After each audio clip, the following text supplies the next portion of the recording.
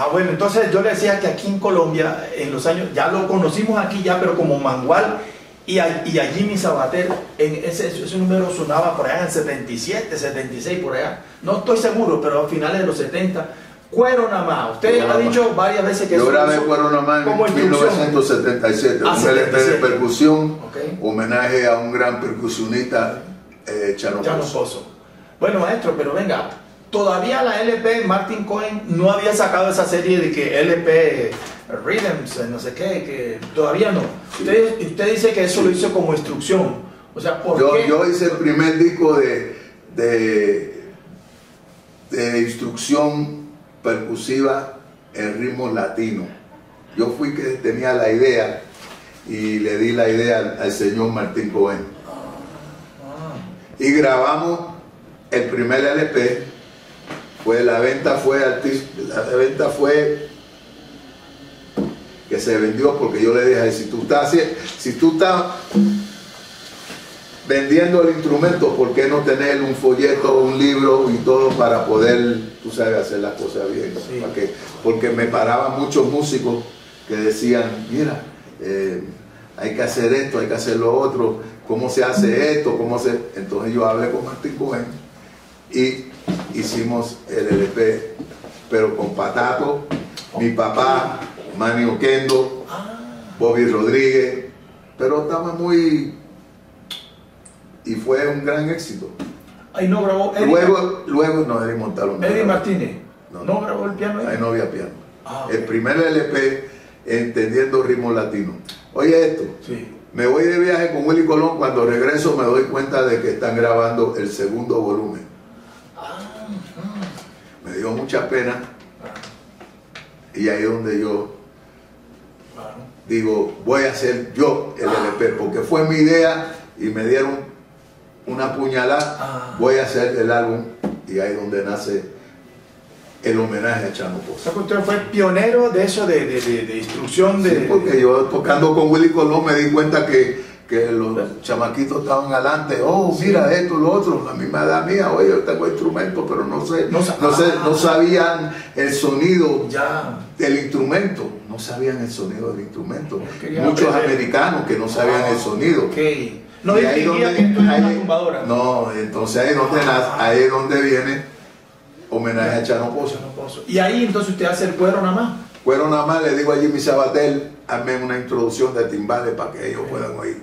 Acompañaba el disco un folleto explicando los ritmos.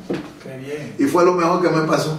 Pues sí, porque eso aquí todavía, maestro, todavía No, aquí no, suena. sí, sí, sí, y yo me acuerdo en el año 77 eh, en Santa Marta habían fiestas de esas y ahí sonaba el cuero. Fueron nada más, eh, entonces cuando Es un eh, un álbum, un álbum cultural, un álbum de educación y un álbum que tú puedes vacilar, un party. Te tenían los tres diferentes. ¿Usted no se imaginó ejemplos. que eso iba a ser Nunca un me imaginé eso. Nunca me ¿Ese es el número bandera suyo, maestro? O... El número o- bandera. Es sí, uno de los 100 LP mejor vendido y que la sí. gente tiene eh, eh, homenaje a Chano Pozo es como 89.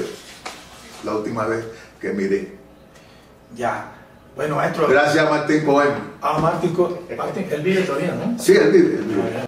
Maestro, como estamos resumiendo, su historia es larga, nunca podremos saber todo esto. En resumen, usted grabó, grabó, ¿no? Con artistas como Rubén Blades, Celia, ¿sí?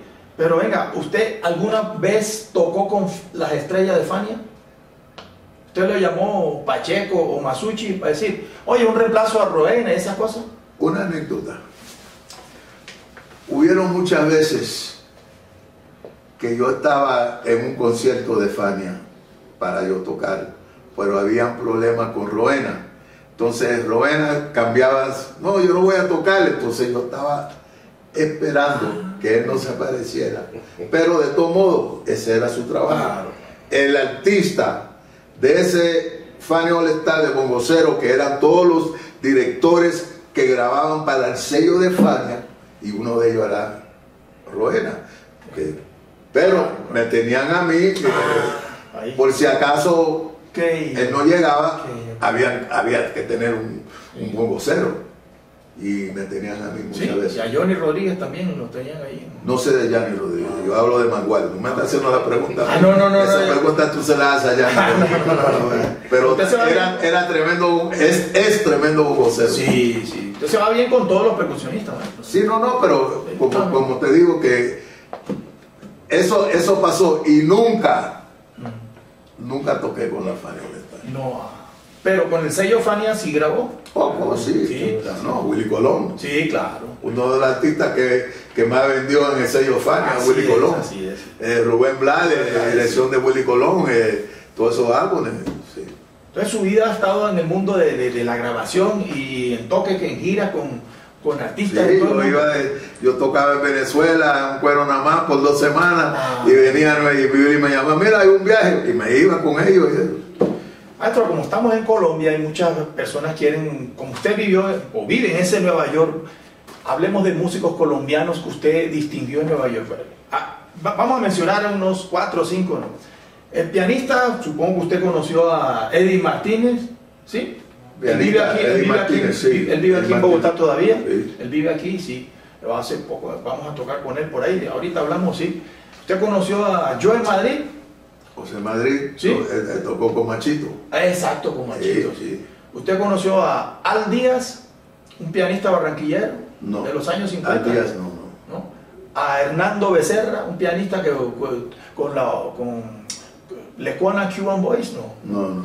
Ajá. Bueno, pero hubo Pero Eddie Martínez sí, Sí. porque tocó con Barreto. Exacto. Tienes que irte en la época mía. Ah, ok. Porque quizás en disco, pero no, personalmente como estoy hablando contigo. Sí. Y, y de colombiano, ¿ustedes qué sabían de Colombia en los años 60, 70? ¿Sabían algo de nosotros o no? o no? Todavía poco. no, todavía no, todavía no. Yo vine a Colombia en, en- en los 70, 70 y pico ¿Con quién? con, con Héctor Lavoe. Ah, ok.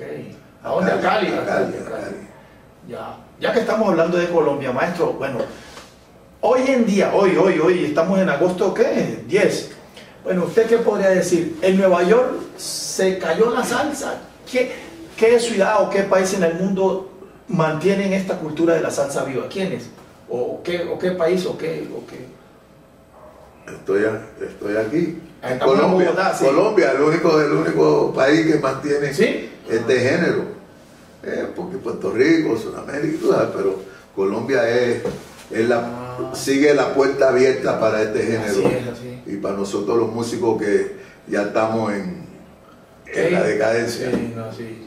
Ve, Pero hay vida. Maestro, ¿por qué, se, ¿por qué murió? Bueno, no murió. ¿Por qué bajó la salsa en Nueva York? ¿Cuál fue el motivo? ¿Qué pasó? Bueno, eh, cuando las compañías discográficas se fueron para abajo, se fue todo. Ah, Porque las compañías discográficas eran lo que generaban que toque la radio, que toque esto, que toque lo otro. Y ahí es donde, donde o sea, que también el internet, la, la piratería, todo eso también sí, contribuyó a que se todo eso bajara tiene todo que eso. ver. Bueno, el internet y la piratería, yo no me gustaban mucho los piratas, pero hoy en día el pirata es el que toca tu música, porque la radio no te lo toca en los Estados Unidos, no, no me refiero a Colombia.